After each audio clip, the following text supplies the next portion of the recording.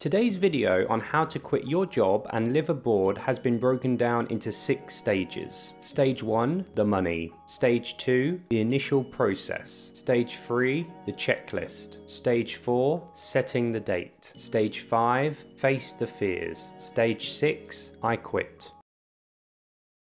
Here at Owl of Asia headquarters, we often discuss living in Asia. Therefore, I will use Asia as the example. It's recommended to budget at least 2000 US dollars. If an expat budgets wisely, they can often survive on their emergency budget if needs be for at least 2 or 3 months in Southeast Asia. Do I really need an emergency fund? Well, of course, if you have a job or an opportunity waiting for you, then an emergency fund may not be a priority. However, However, in the modern world, it's often strongly recommended to start building that emergency fund, and this is why the topic of money is our first stage.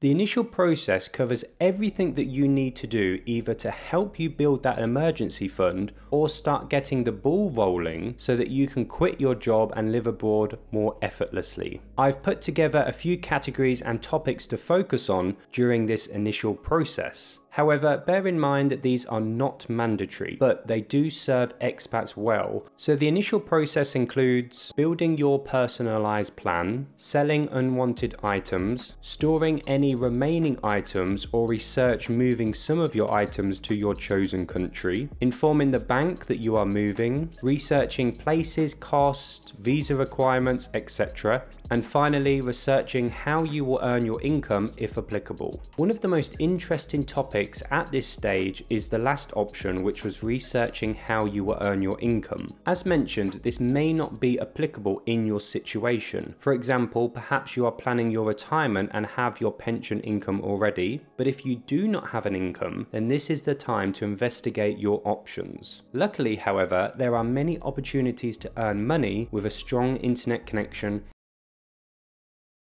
so now that the ball has been rolling and it's getting bigger and bigger and bigger, and you can feel a sense of excitement as you know that it's only a few months away until you can fly to your perfect dream destination. So what is the checklist? Well, the checklist is a stage that involves investigating other areas that are often forgotten. These can include arranging health coverage, free medical checks, and obtaining any essential prescriptions, copies of any important documentation that you will need, COVID 19 requirements, cancellation of any subscription or old contracts, and finally, ordering new and emergency bank cards. So at stage four, the ball is as big as it's ever been, and now it's time to take some official action. In other words, it's time to set the date and book your international flights along with any hotel stays.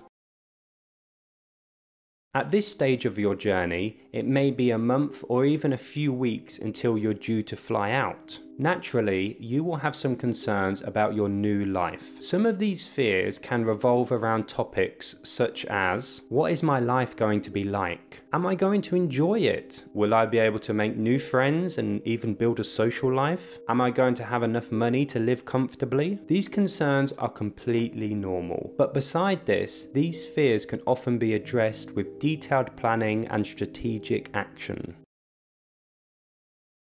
If you are in a job that you dislike, then saying, I quit because I'm going to move to a new country, is one of the best feelings in the world. However, I would recommend not to burn any bridges. I've seen this happen too many times through my years of management. And the chances are you will not return to the job that you once had, but you may return home one day. In addition, you may find that your ex-bosses have connections with other people you know and other businesses that you may be applying for in the future. So it's always wise to be professional and courteous.